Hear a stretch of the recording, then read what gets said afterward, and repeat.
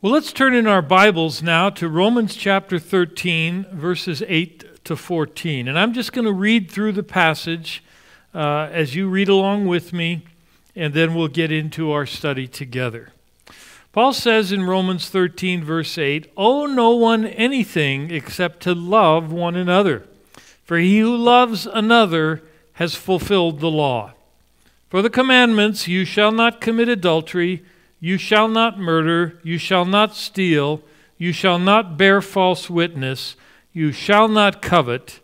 And if there is any other commandment, all are summed up in this saying, namely, you shall love your neighbor as yourself. Love does no harm to a neighbor. Therefore, love is the fulfillment of the law.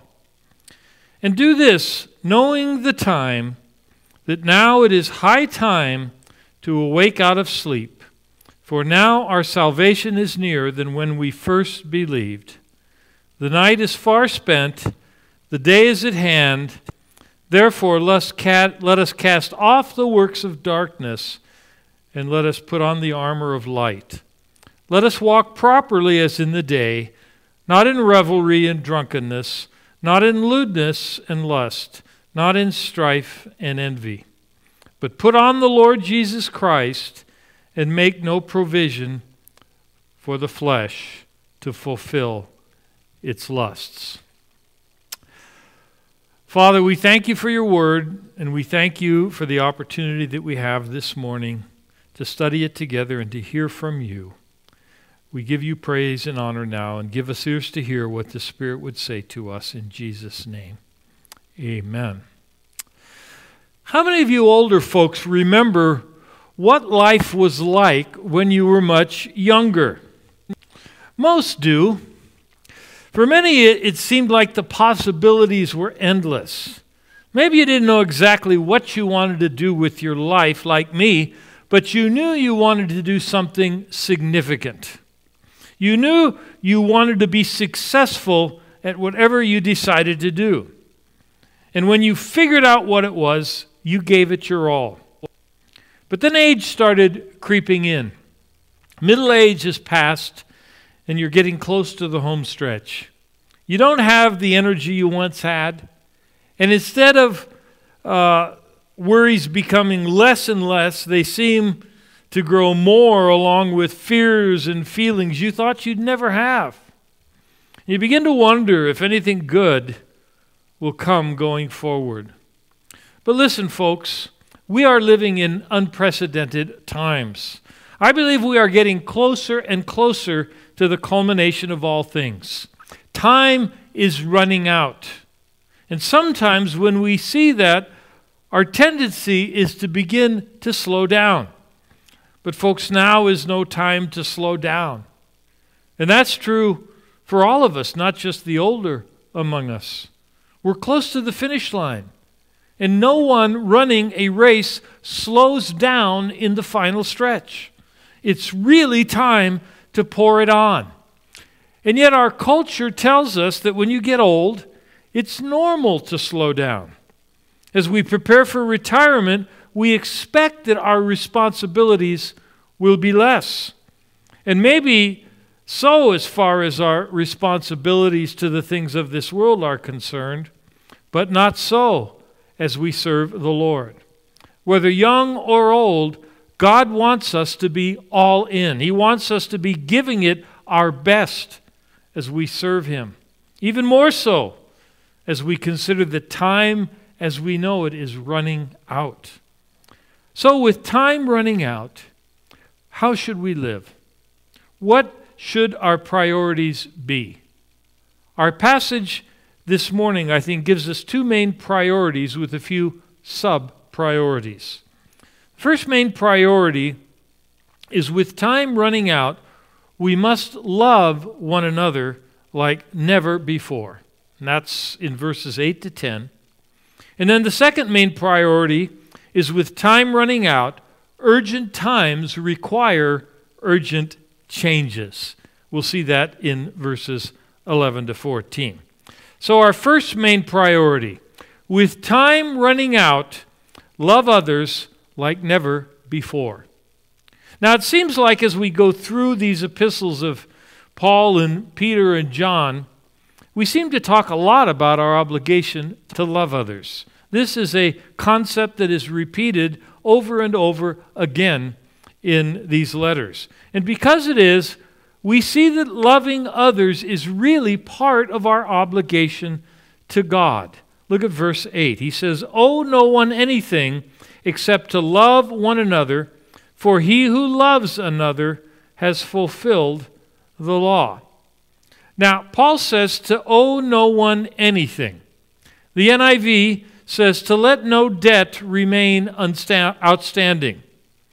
Many have taught that this means to not go into debt for anything, pay for everything with cash. This is basically Dave Ramsey's approach, and honestly, I don't think it's a bad idea. After all, we read in uh, Proverbs 22 7 the rich rules over the poor, and the borrower is servant to the lender. The NIV is a little more dramatic in its choice of words in this passage. It says, The borrower is slave to the lender. There can be no doubt that it's less cumbering to live without debt than with debt. To not have credit card debt or car uh, debt or even home debt makes us freer to do what we think the Lord is calling us to do than if we were in debt to all of these things. So it definitely is a good idea to be as free uh, from any kind of debt as we can be. Talking about financial debt. If I took a poll of all of us and asked, would you rather be in a lot of debt or in very little debt? I'm pretty sure that most of us would say we preferred the very little or the no debt option. I don't think Paul, uh, what Paul says here, prohibits all financial debt, but it clearly prohibits debt that you can't pay back. In the Old Testament, the idea of borrowing from others was assumed and it was regulated, so it wasn't prohibited completely. But if you borrowed and you couldn't pay back, then things became very, very complicated for you. Life became very, very difficult.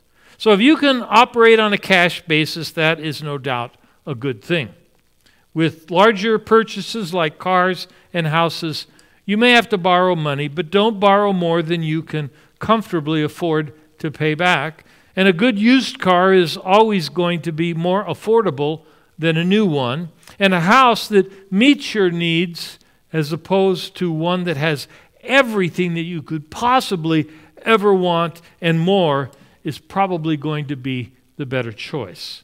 And credit card debt at the high rates they're charging is, is never a good idea. If you use a credit card, use it for convenience only, only and always pay the balance at the end of the month. And if you can't pay the balance at the end of the month, then you shouldn't buy what it is that you're contemplating buying. So that's my financial advice for today. At the same time, I don't think that is the main point of what Paul is saying here, actually. Uh, he's not trying to teach us about financial debt or no financial debt, although we might apply this statement to that. His main point is if you're going to owe something to someone, owe them love and nothing but love. And that's especially true since time is running out and Jesus could be returning at any time.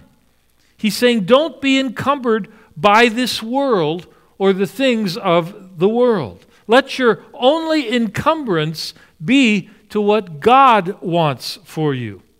And this is what God has called us to do and what we are obligated to do because of that. It's all over the New Testament. John 13, 34 says, A new commandment I give to you, that you love one another as I have loved you that you also love one another.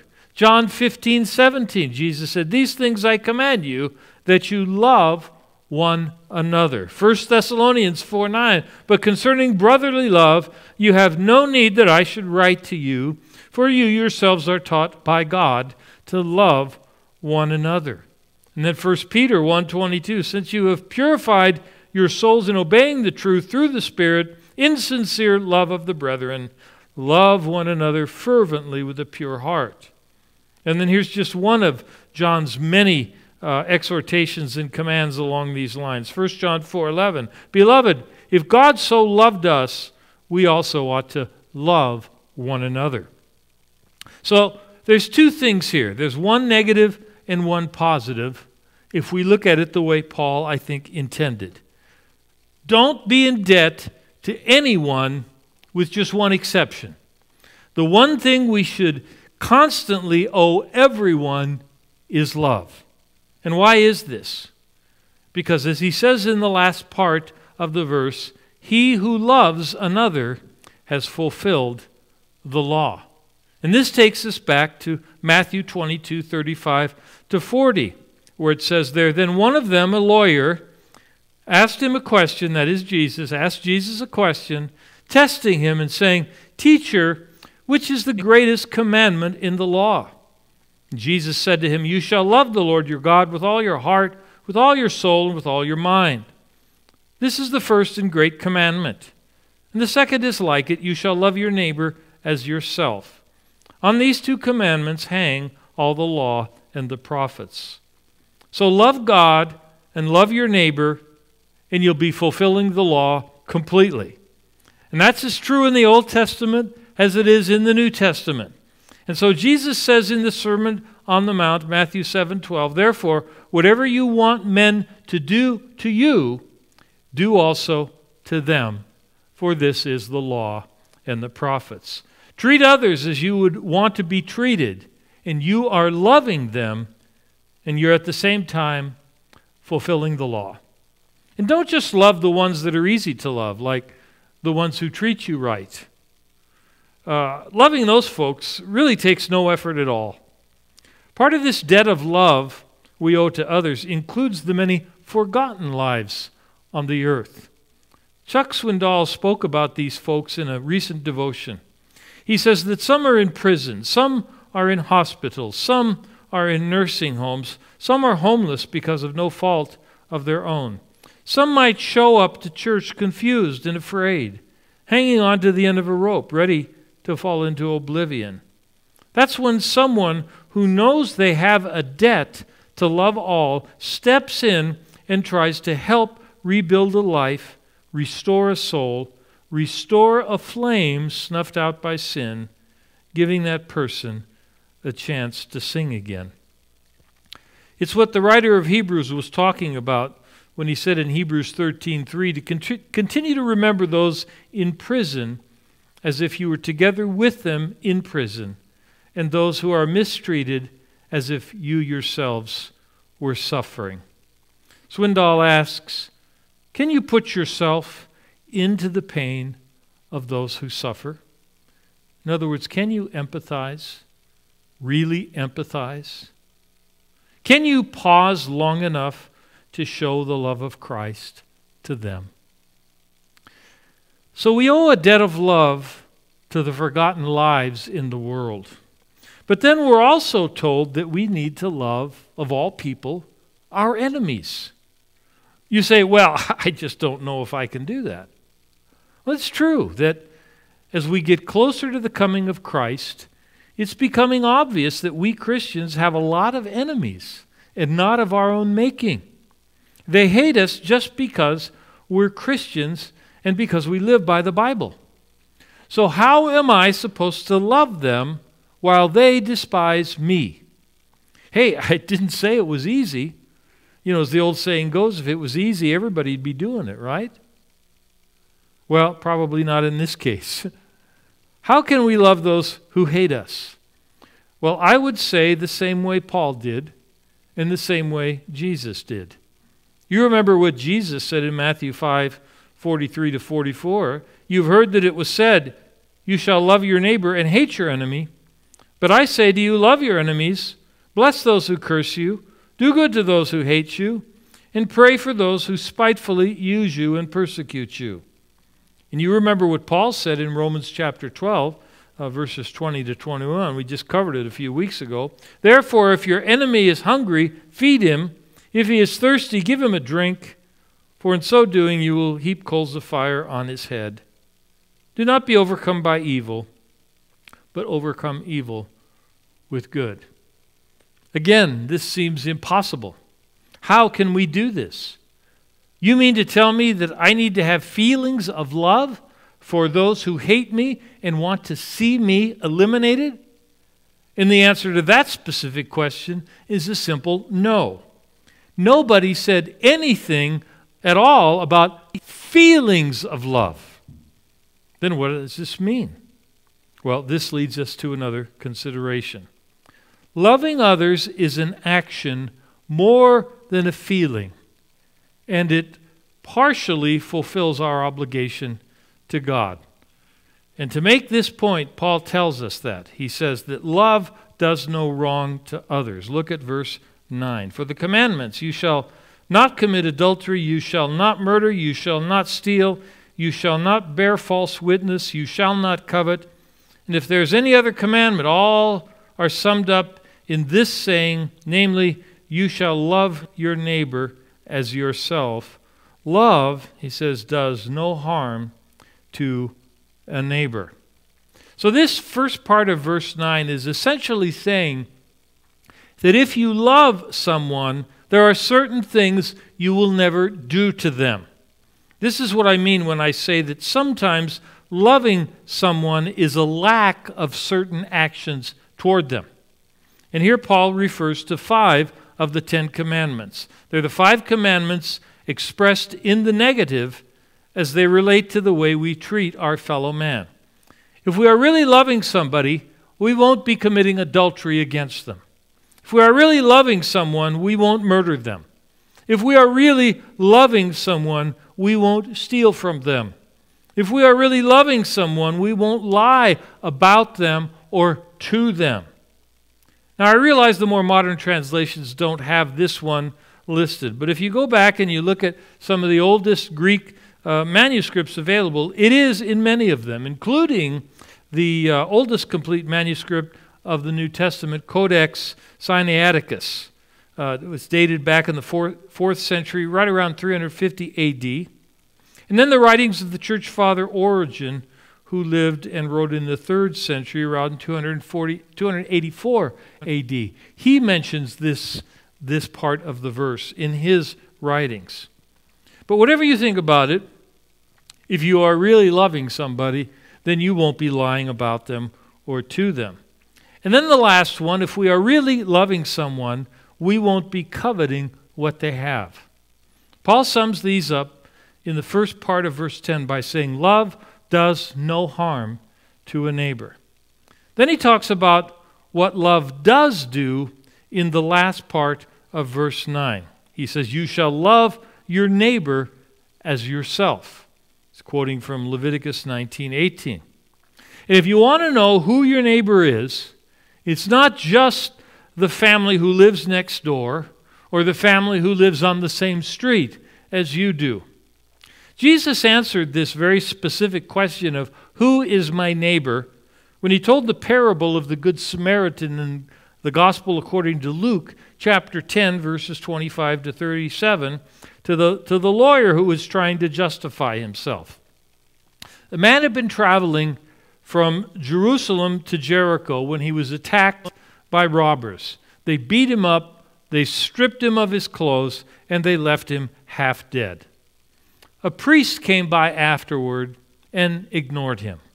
A Levite came by after that and also ignored the man. Then a Samaritan, hated by the Jews generally, came by, took pity on this man, dressed his wounds, bandaged him up, and took him to an inn and took care of him there. And when he had to leave the next day, he gave the innkeeper some money and he asked him to take care of the man until he returned. And Jesus asked the lawyer, which of the three was a neighbor to the injured man, the priest, the Levite, or the Samaritan? The answer, the one who had mercy on him, obviously the Samaritan. Jesus told him to go and do likewise.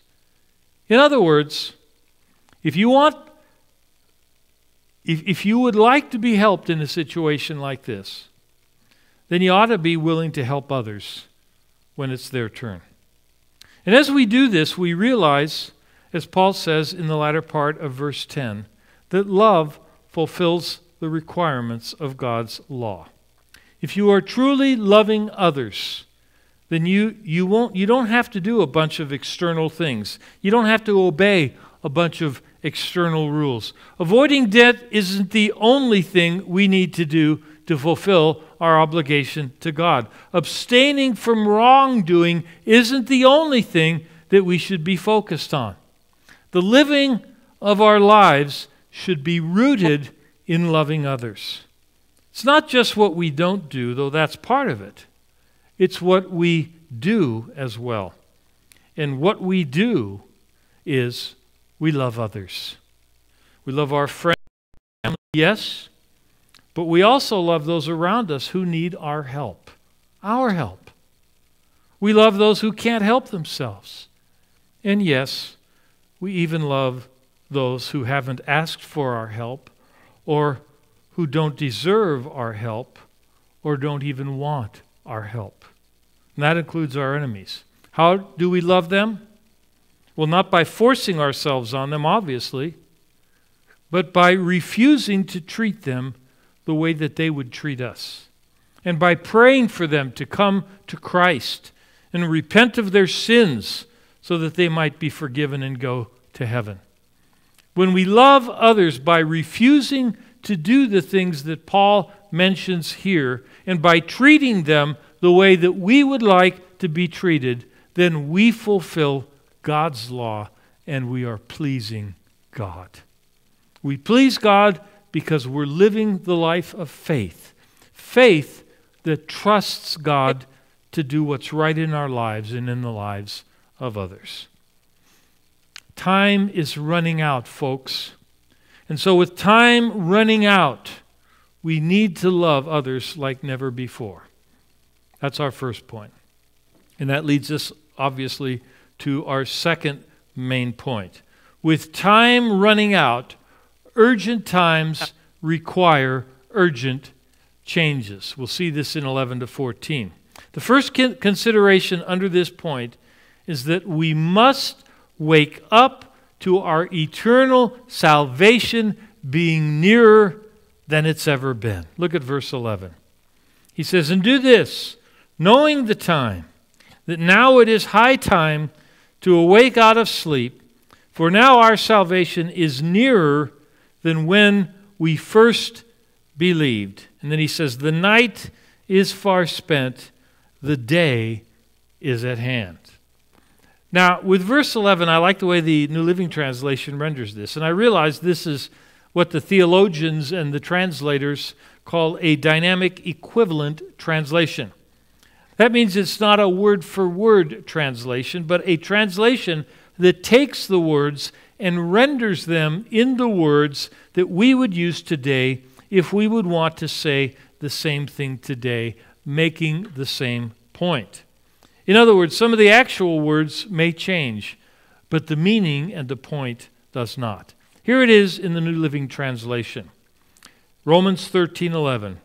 This is all the more urgent, for you know how late it is. Time is running out. Wake up, for our salvation is nearer now than when we first believed. And of course, this is where I got the title for the message today living while time is running out. It says, time is running out. What does he mean? He means we haven't got much time left before we experience the fullness of our salvation. And he says, it's time to wake up. It's really a very serious appeal. It's not just a wake up, it's time to get ready to go to church or to go to school or to go to work. It's more like, wake up! The house is burning down and we need to run like never before. It's like the athlete running the marathon. He's getting to the finish line, and there are several other opponents that are close behind him. He doesn't slow down as he rounds the final stretch. He digs deep, deep, deep to muster every last bit of strength that he has left so that he can reach the finish line before his opponents. He He's been pacing himself up to this point, but it's time now to really, really pour it on. Paul likens the Christian life to running a race. And though we shouldn't sprint as fast as we can all through life, we definitely shouldn't be slowing down as we approach the finish line. Yes, our strength may be diminished because, you know, we've been running for a long, long time. But we still need to give it all we've got as we approach the finish line. It's no time to stop and take a nap or take a rest. It's time to get fully awake and to get moving because time is running out and the end is in sight. We want to be able to say, like Paul at the end of his life in 2 Timothy 4 7 to 8, I have fought the good fight, I have finished the race, I have kept the faith. Finally, there is laid up for me the crown of righteousness, which the Lord, the righteous judge, will give to me on that day, and not to me only, but also to all who have loved his appearing. So, folks, the time is urgent, and urgent times require urgent changes. If we've been slumbering and sleeping instead of being focused on pleasing God and serving others, he likens living in this world with living in the night. Some are asleep, doing nothing that they should be doing, and others are awake, doing all of the things that they shouldn't be doing. And so it's time for both to wake up because the, the night is coming to an end. The day is almost here. And of course, the day is a metaphor for our salvation.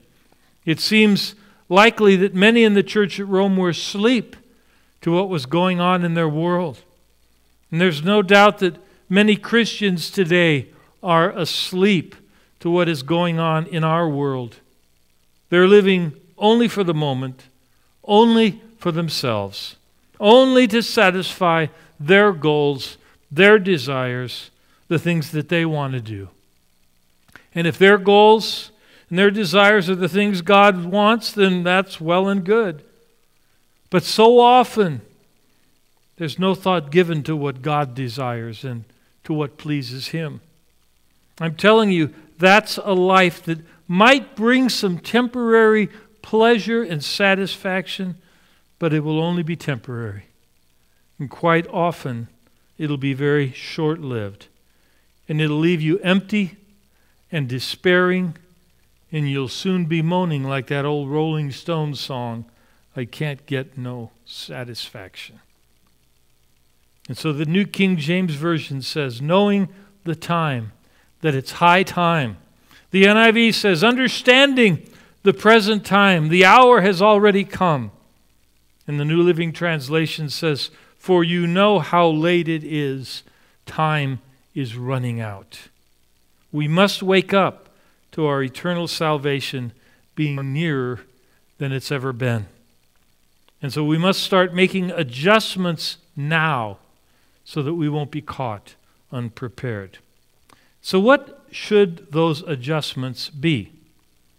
Well, with night coming to an end, we must first of all remove our dark deeds. We see this in uh, the end of verse 12 and the end of verse 13 and the end of verse 14. So let me just read those sections of those verses to us. Romans 13, 12. Therefore, let us cast off the works of darkness. Then, verse 13, not in revelry and drunkenness, not in lewdness and lust, not in strife and envy. And then the last part of verse 14 and make no provision for the flesh to fulfill its lusts. Paul first talks generally here. He says to cast off the works of darkness. He talks about putting off and putting on in the book of Ephesians and also the book of Colossians. It's really the same thing here ex- except he says to cast off the works of darkness and to put on the armor of light. In Romans, Ephesians, and Colossians, it's really the same Greek words. So cast off or put off and then put on. And then he gives us a list of the things to cast off. If we haven't already done so. Some of these are public sins, some are private sins, some could be both. He talks about revelry and carousing. The word here can also be translated rioting. We've sure seen a lot of this this last year in places like Seattle and Portland on our side of the country, uh, and in Washington, D.C., and in a lot of other places around the country. Wherever it is, whatever the cause, Paul says you're supposed to stay away from that stuff. Stay away from the rioting. Peaceful protests are one thing, but when they turn to riots, that's when the Christian should split and refuse to be part of it. Drunkenness can be either a public or a private sin. It doesn't matter where you're drunk. Paul calls it a work of darkness. He says, cast it off. Then he talks about lewdness and lust. There used to be more, these used to be more private than public sins, but now they're both. Lewdness is sexual immorality and is defined basically as anything but the God ordained sexual relationship between husband and wife. And lust is unbridled lust, no holds barred lust. It's every kind of sexual depravity that can be imagined. And by the way, pornography fits into this category. If you're a Christian and you view pornography on a regular basis, then I can tell you categorically that you are out of the will of God and God will not answer your prayers until you repent and quit. I don't care what anybody says, it's evil and it's a work of darkness. Don't allow yourself to be fooled if it's sex between anyone or anything other than a husband and a wife, then it's lewdness and it's lust and it's an evil work of darkness. And there is no justification that God will accept. You can't say, oh, but we love each other and we're committed to each other, so surely God accepts us. Well, if you love each other and are committed to each other, then get married. That's, that's what a marriage is. That's what God says you should do. But know this God does not accept it. And as long as you engage in these works of darkness, your relationship with God will be severely hindered until you confess and repent of it. Then he talks about strife and envy. Strife is talking about the person who is always contentious. They always want to quarrel and argue with others. And this often comes from being so self centered that they never seem to have a, enough attention, enough recognition, or position or authority. And they're constantly in competition with others for this. And so they're frequently putting others down, ignoring others, holding others back, and blaming others for whatever problem exists. And when things go wrong, it's always someone else's fault. Then envy. Envy is a jealousy that begrudges others and wants what they have. It hates the success of others. Paul says these things are works of evil and works of darkness. So, with the night coming to an end, Paul says we must remove the deeds of darkness.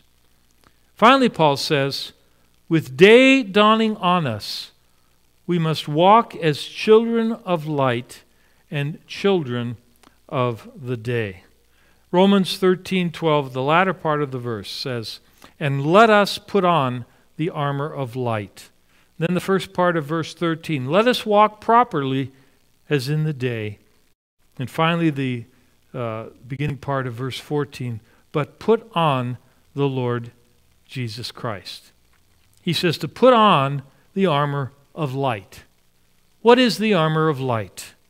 Well, the first thing that we can deduce from the phrase is that it is something that protects us. It's armor, and it protects us from attack. Where else does Paul talk about armor? Ephesians chapter 6, verses 10 to 16. He says, Therefore, take up the whole armor of God, that you may be able to withstand in the evil day, and having done all to stand. And almost for sure, the armor of light is the armor of God. And how does this help us?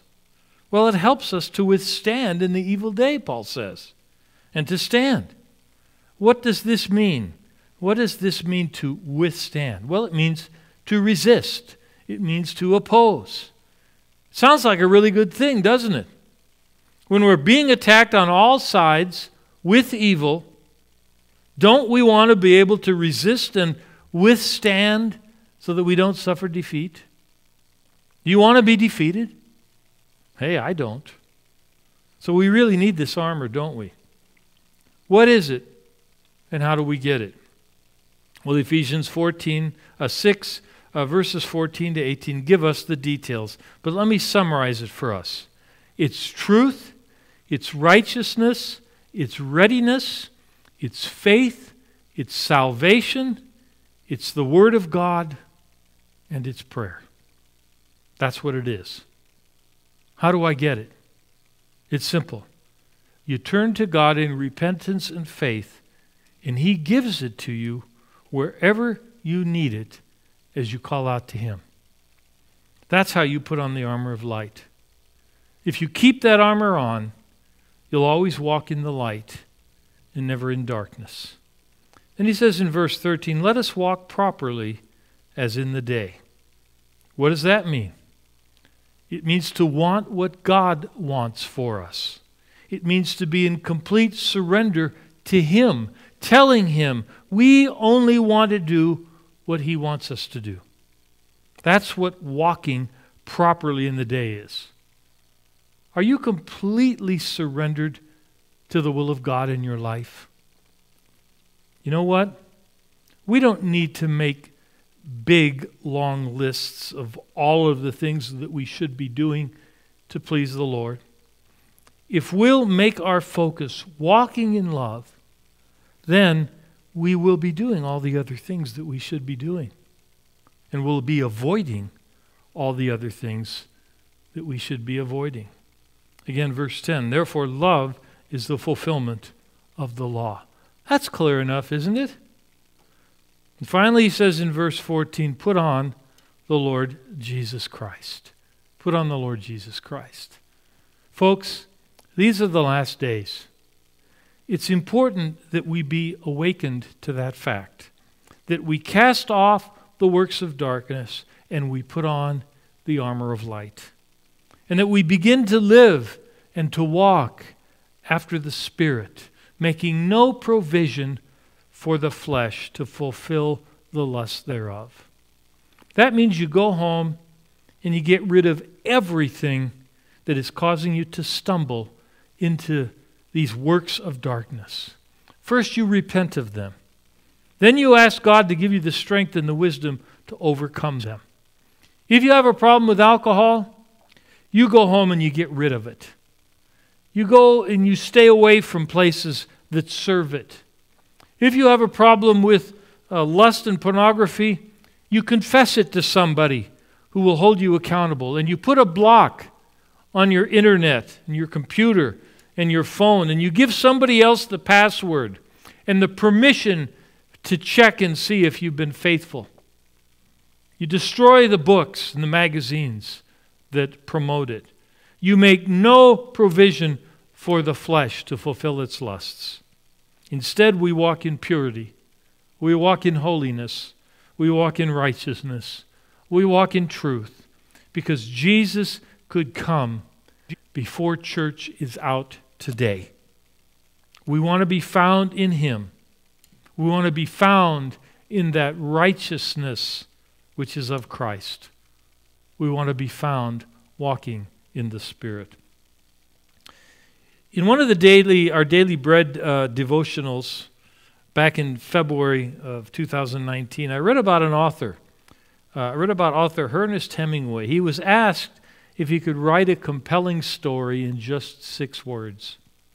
This was his response For sale, baby shoes, never worn. You say, why is that so compelling? Well, it's compelling because you're not quite sure what to make of it. Because so little is said, you're inspired to sort of, uh, your imagination to sort of want to fill in the details. Were those shoes unused because a healthy child didn't like them? Or were they lost after they were purchased and then found after the child had grown so, so big that they couldn't wear them anymore? Or were they a gift and they didn't go with anything the child had? Or was there a tragic loss wherein the child died before the shoes could be worn? And if so, what were the circumstances of the child's death? And what were the stories of all the people who lived through such a trying time? Dad and mom, brother and sister, grandpa, grandma.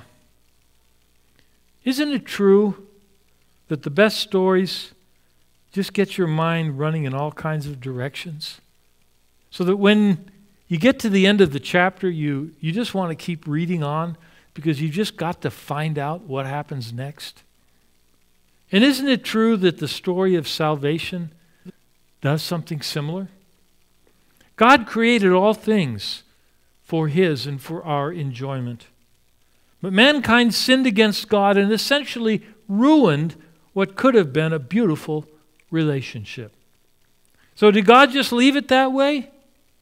No, He didn't.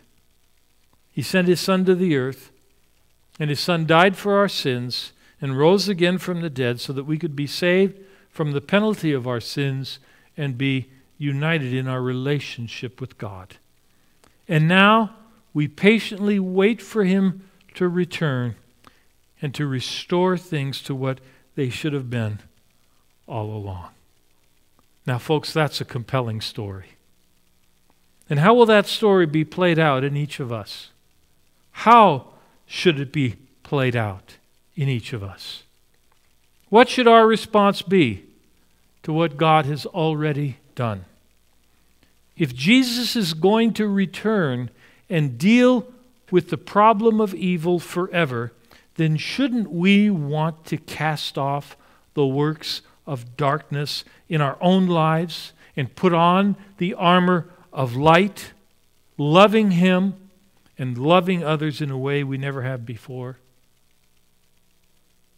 How we do this may be different with each of us and the ones we minister to, but as we seek God and as we seek out the wounded and the weeping, God will guide us and He will equip us to bring His justice, His love, His comfort to a world that needs it. Folks, this is what our lives should be all about. Yes, this is what living while time is running out should look like. Let's pray. Father, we thank you for your word. We thank you for the way your Spirit speaks to our hearts when we're open to you and when we seek your will for our lives. Speak to us today in those very specific areas of our lives that this applies to. Help us to identify the works of darkness that we've been engaging in and to repent of them. And help us, Lord, to put on the armor of light so that we can be protected in this evil day as the darkness comes to an end and as Jesus Christ gets ready to return and to set up his kingdom. We thank you for it, Lord. Help us today to serve you with all of our hearts with every ounce of energy that we have. In Jesus' name, amen.